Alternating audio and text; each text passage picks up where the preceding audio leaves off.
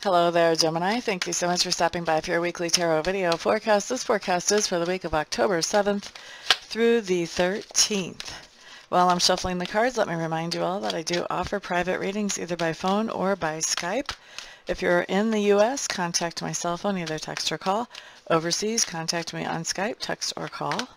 All my contact information and information about my readings is on the website listed below. I think we're just about done shuffling here. I would like to be done shuffling here. You guys have a lot on your mind this week, Gemini. Whew. Let's see what comes up.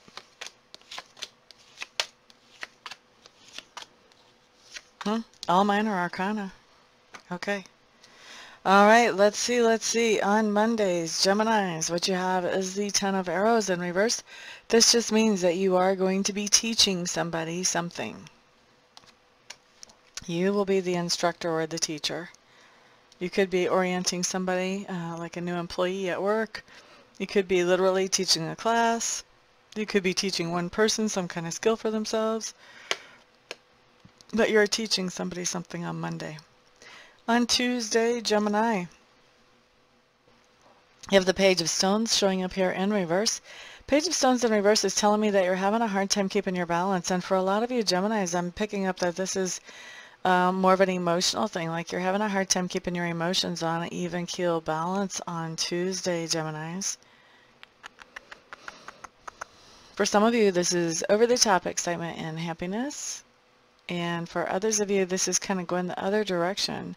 But for a lot of you, this is actually, you're feeling very excited and happy and you're having a hard time containing yourselves look at Wednesday. Here we have the Nine of Vessels. By the way, this is my Wildwood Tarot deck.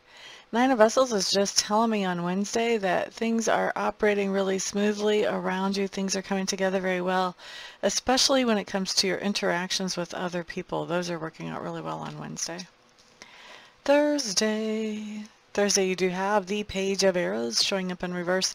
And this is a card that just tells me that you are uh, you're digging for information about something that I call a secret of the universe. Um, secrets of the universe are anything that influences our world that is not taught about generally in school. So metaphysical things, occult, um, arcane, uh, things like mediumship, psychic abilities, um, a lot of times things to have to do with the spiritual nature in any way, energy healing, stuff like that.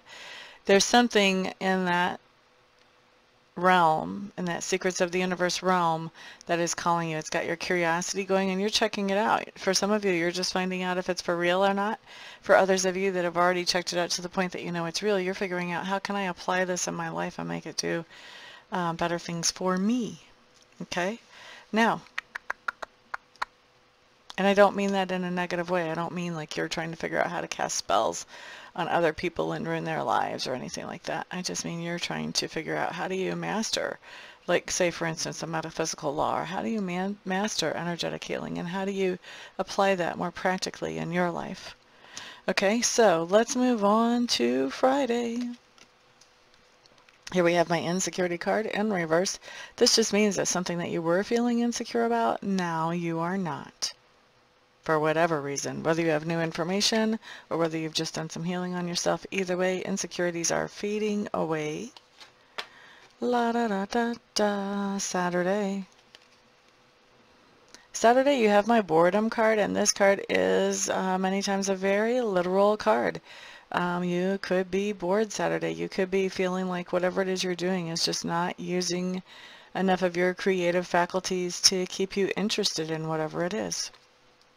And then Sunday, we have the otter showing up in reverse. This is just telling me that on Sunday, you are having a hard time getting your heart to match up with what your head is saying. So your heart's feeling one thing, your head is saying another.